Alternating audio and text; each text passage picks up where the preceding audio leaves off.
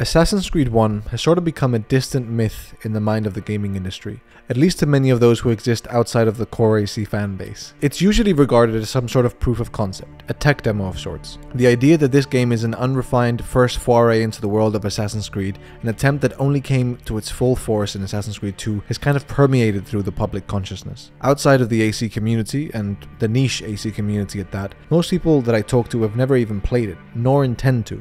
Most of them came in through Assassin's Creed 2, 3, or the RPG trilogy.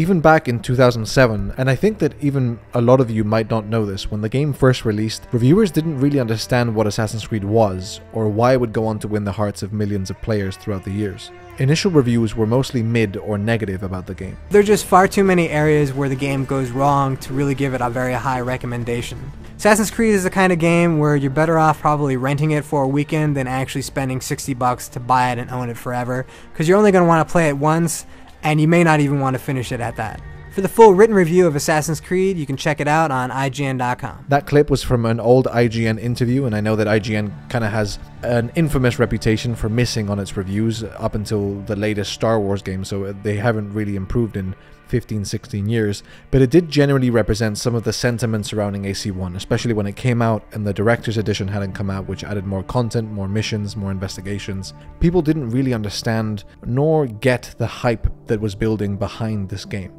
Of course, by the time that the director's cut released, Assassin's Creed reviews were much more favorable as reviewers saw how well Assassin's Creed had done with the fans. But after AC2 released two years later, the game has kind of fallen into obscurity, with many people wanting a remake, but much fewer actually diving in and experiencing the game for the first time the game that started all of this. And I kind of want to make a video to encourage anyone who hasn't played AC1 to give it a try and explain why I love it so much. And while I do admit that AC1 does have some outdated or rough aspects to it that I'll also discuss in this video, so do most AAA games nowadays anyways. Assassin's Creed took two ideas and made art with them.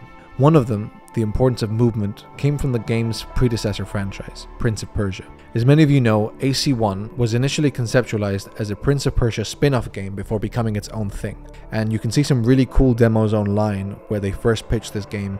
And it's honestly kind of an interesting game that obviously would never get made today with the inflated budgets that games have and how important it is to have a bankable idea. But it was a very interesting concept. But eventually, obviously, it became its own thing. It gave us an open world to explore and let us explore it in a way that no one had ever been able to before. Everything in this world was accessible. Every wall was climbable, every rooftop open to us. The freedom we felt when rising to the rooftops was truly unparalleled by most gaming experiences that have been offered until now. It paired this concept of the importance of movement and freedom of expression within movement with a very interesting premise to be an assassin, a member of a brotherhood of killers and freedom fighters who seek to preserve the free will of humanity in the face of a powerful order who seeks to undo it. Do you know how perfect a concept for a video game has to be for the pure gameplay mechanics of it to fit so perfectly with the narrative themes and philosophy of its world? To be able to introduce a premise, a pitch, an idea into an interactive, complex medium like video games that has to factor in gameplay, code, story, music, and a bunch of other things and have it make so much sense and dance so beautifully together is nothing short of remarkable. The concept of power and control, of the ethics of pursuing your own ideals no matter the cost, are perfectly reflected in the loop that we use to get through the game.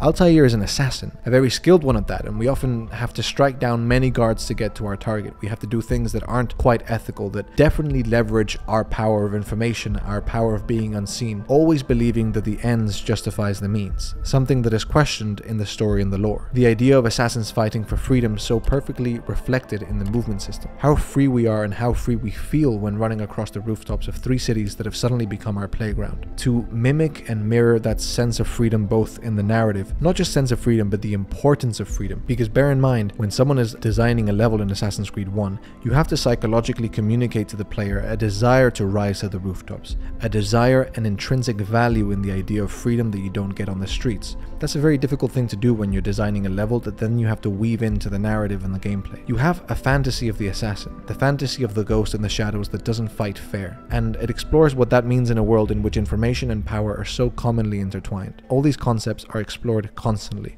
and I love nothing more than a game that is consistent. Regardless of where you are or what you're doing, that same core idea is being explored. I think AC1 is far more than just a demo or a proof of concept, which is usually what it's reduced to. To me, AC1 is a paradigm shattering, immersive, and unmatched experience. The way this game makes me feel when I play it, and I know that I'm a bit biased with this, but the way it makes me feel hasn't really been matched by any game since. It features my favorite protagonist of all time, so admittedly, as I said, I'm biased, but every time I return to play it, I remind myself that the pieces of this game make a much greater whole, a much greater sum of its parts. It has a great parkour system that, despite the outdated animations, hasn't really been matched in terms of accuracy and player agency in the 16 years this game has been out in the market. Which, if you really think about it, when it comes to the amount of technology and industry that has propelled the video game industry forward, the amount of investment, the amount of time, the fact that AC1 is still one of the best, if not the best, third person parkour system in terms of accuracy and self expression is pretty mind boggling. The more time passes and the more even Ubisoft itself fails to properly develop a parkour system that is somewhat close in terms of re- reliability and accuracy, the more it's evident that what these developers did in 2007 with this game is nothing short of extraordinary. The level design, again, I've made a lot of videos about level design in the world of Assassin's Creed, but the level design in this game is truly wonderful. It makes the moments between the missions just as much fun or more fun than the mission itself. How you get around is a game within a game. It has a gameplay loop that I honestly love because every time that you're interacting with this game, you're having fun. Compare that to most AAA bloated games now that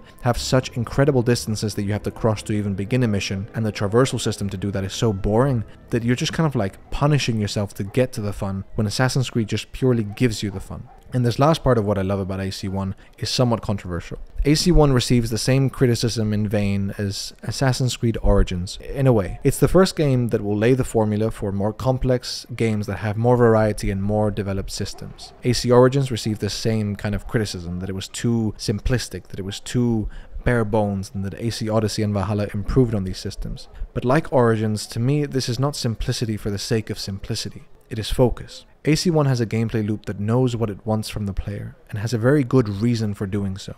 You are a hitman in this game of sorts, a weapon at the mercy of its wielder. In the game, you are appointed to nine men who you are tasked to kill. For each, you first need to go to where they live. That makes a lot of sense. Then you have to figure out how you get to them. That makes sense. And to do so, you investigate. You walk the streets, you follow leads, eavesdrop, steal, and you're just a cool assassin and you basically have enough pieces of the puzzle to know where and when your target will be vulnerable. This all makes quite a little bit of sense. Then, and this is something that most players don't know, the information you gathered can actually help you strategize your approach and entry to kill the target. Some missions give you notes with information or even blueprints of the building with possible entrances marked in. This is very cool, this is very focused, and something that most games I play nowadays can't say about their gameplay loop, it's very relevant. Again, I love games that make me feel like everything I do is relevant to the concept, to the idea, to the argument that it's making. I hate unrelated side quests that are just there to pad time or take the edge off the game, be a little bit humorous. I'm not saying I don't want humor in games, but I definitely don't like when a side quest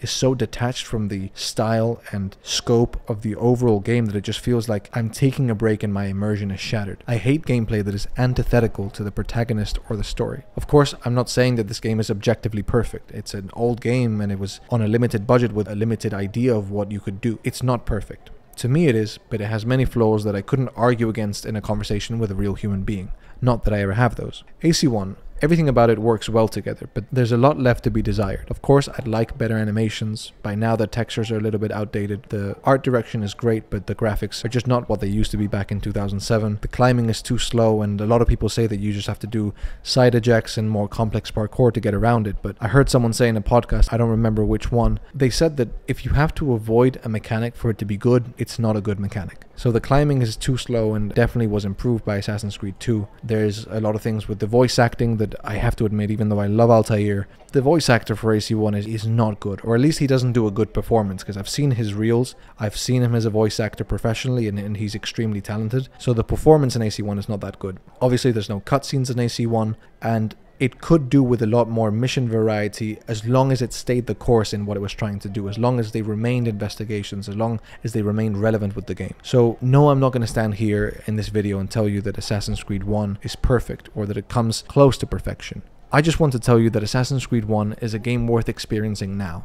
Not when it has a remake, not when someone does a remaster or ports it over to Unreal Engine or some AI machine can make it 10 times bigger and include a fishing minigame and side quests and fucking dialogue options or whatever the fuck people are into now. This is a game that is good enough now, that was good enough then and will always be good enough because it has something that most games nowadays don't have. It has something that most projects across media, across entertainment, across the world don't have. And that is a good idea. And Assassin's Creed 1, in my opinion, past all the fanboy bullshit that I give you, past nerding out, is just an example of what happens when a talented team has a good idea. And if you want to know of another franchise or another game that worked with the same concept, that worked with the miracle of a good idea, I made a video about Dishonored, which as an Assassin's Creed fan you might not be interested in, but I think that you'll find something valuable in it. So if you want to watch that video, you can watch it now.